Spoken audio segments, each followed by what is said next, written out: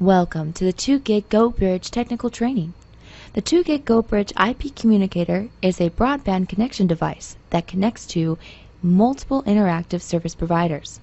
In this course, we're going to check out what the communicator looks like and what you'll need to operate the Go Bridge properly, the Go Bridge features, installation, how-to, and troubleshooting. Let's get started. On the front side of the communicator, you will see A, the network LED, B, the 900 megahertz LED, and C, the Learn button.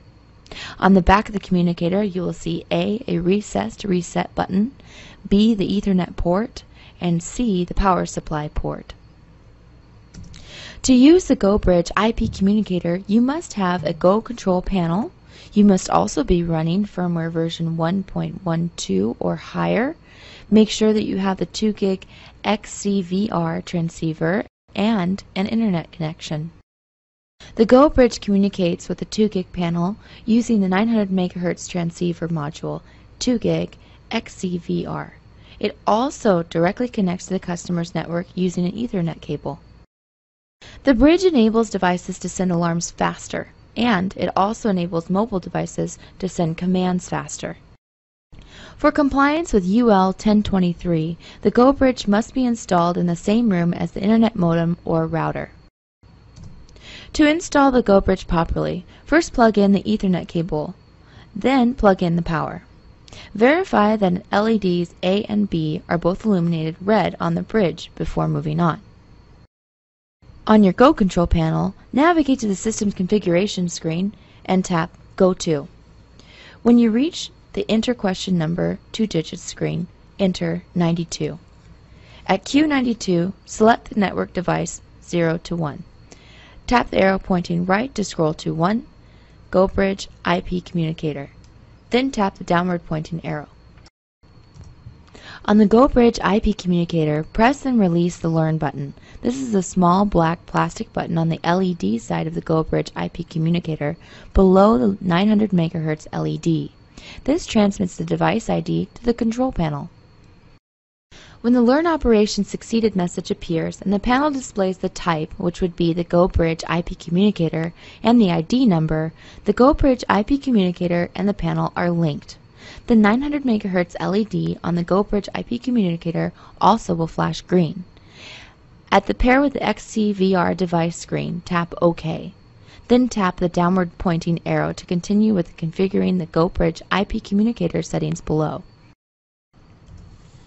Please refer to your service provider to determine what information you should use for these settings. Select the service provider's server port by using the left or right arrows or enter it in directly using the numeric touchscreen keypad. Then press the down arrow and enable or disable port forwarding. Disabled is used for most installations. If enabling port forwarding, enter the port value and then press the down button. Then enter the IP address. You can enter up to 8 port forwarded entries.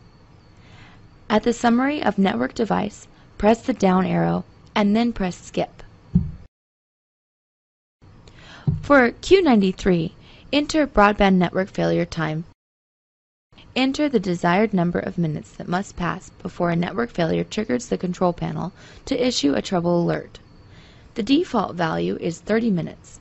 Then tap the downward facing arrow.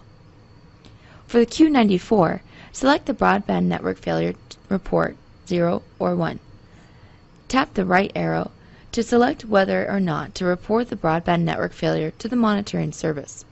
1 is enabled.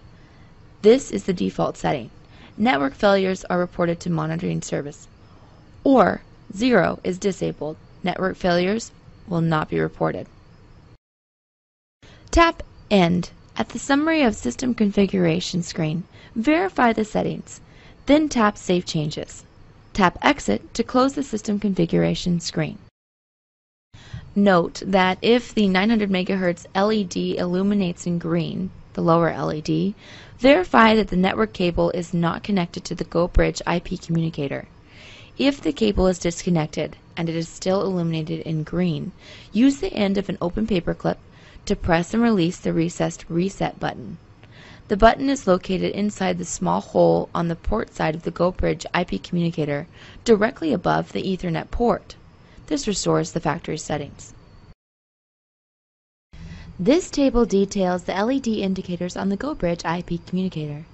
When the network LED globe icon is solid green, this indicates the presence of an external network connection. If it is flashing green, the network cable is plugged in and the IP address is actively being assigned. If it is solid red, the network cable is unplugged. When the 900 MHz LED icon labeled 900 MHz is solid green, this indicates that the Go bridge is linked and communicating with the control panel. If it is flashing green, it is linked to the control panel, but communication issues exist. If it is solid red, this indicates that the Go bridge is not linked to the control panel, and it usually turns solid after a device reset. If it is flashing red, it is not linked to the control panel. Thank you for watching the 2GIG GoBridge IP Communicator training. If you would like more information, please visit our website. You may now exit the course.